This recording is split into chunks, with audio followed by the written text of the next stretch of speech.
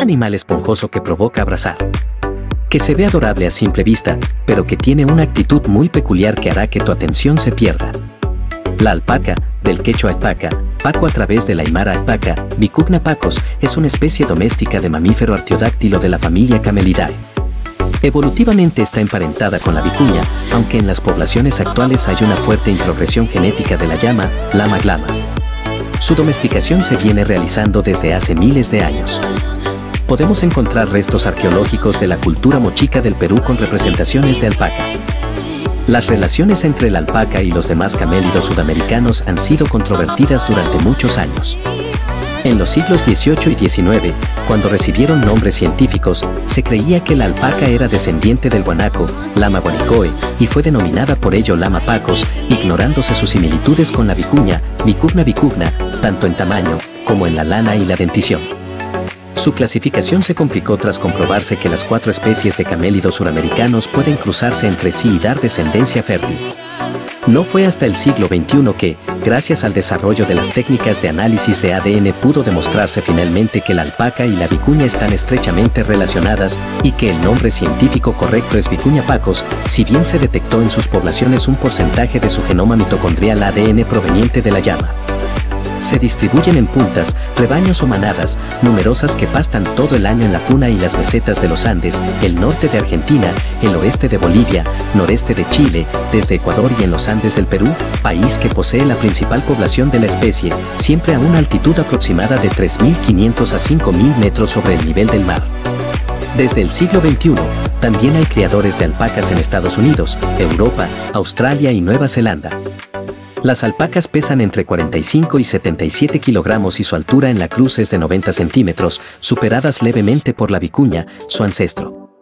La estatura de la alpaca es considerablemente menor que la de la llama, compartiendo con esta y con el camello el hábito de escupir, utilizado para mostrar agresividad o como método de defensa. No se utilizan como animales de carga, como las llamas han sido seleccionadas para la producción de fibra, cuyo diámetro varía de 12 a 28 micrómetros, las cuales son muy utilizadas para confeccionar prendas de excelente calidad. Existen dos razas de alpaca, las que se diferencian por las características externas de su fibra. Huacaya. La fibra de la huacaya crece en forma perpendicular al cuerpo de la alpaca, posee densidad, suavidad, lustre, rizos, crin, que le confieren un aspecto esponjoso, las mechas de fibra son más cortas en comparación con la suri, con ausencia de suarda que es propio del ovino. Suri. La fibra de la suri crece en forma paralela al cuerpo de la alpaca, formando rulos independientes a través de todo el cuerpo a manera de los flecos del mantón de las mujeres altoandinas, posee densidad, suavidad y lustre mucho más notorios que en la de la huacaya, confiriéndole un aspecto sedoso y brillante. Alpaca versus llama, ¿te cuesta distinguirlas? ¿Te preguntas cuáles son sus diferencias? Estas son las principales diferencias entre llama y alpaca. Tamaño. Es la más evidente y fácil de reconocer, al menos cuando nos encontramos frente a ejemplares adultos. La llama es bastante más grande que la alpaca. Mientras que una alpaca mide unos 90 cm de altura hasta la cruz, la llama puede alcanzar los 120 cm. Esta diferencia se acentúa si añadimos la longitud de su cuello, que hace que una llama adulta fácilmente pueda ser más alta que un humano. Además, las llamas son también mucho más pesadas, mientras que una alpaca rara vez supera los 60 kilogramos, una llama adulta puede alcanzar los 150 kilogramos. Morfología. Las patas de la alpaca son más cortas dada su menor altura y su cuello es también algo más corto.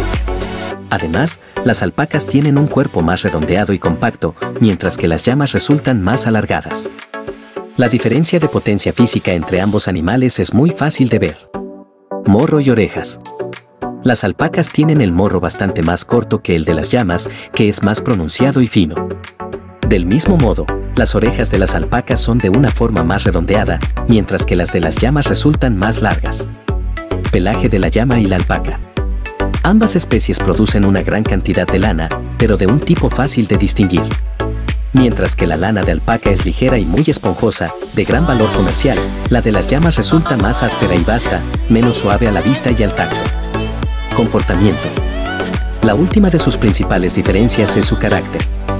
Tanto la llama como la alpaca son animales domesticados, pero las alpacas son mucho más tímidas y probablemente huirán o se alejarán ante desconocidos. Las llamas, en cambio, son mucho más tosudas y extrovertidas, atrevidas incluso. No conviene nunca molestar a ningún animal, pero alterar a una llama tiene más posibilidades de acabar con alguien incauto cubierto de saliva o, peor, coseado. ¿Y ahora? ¿Crees que las llamas y las alpacas son iguales? Probablemente sabrás distinguirlas la próxima vez que veas una.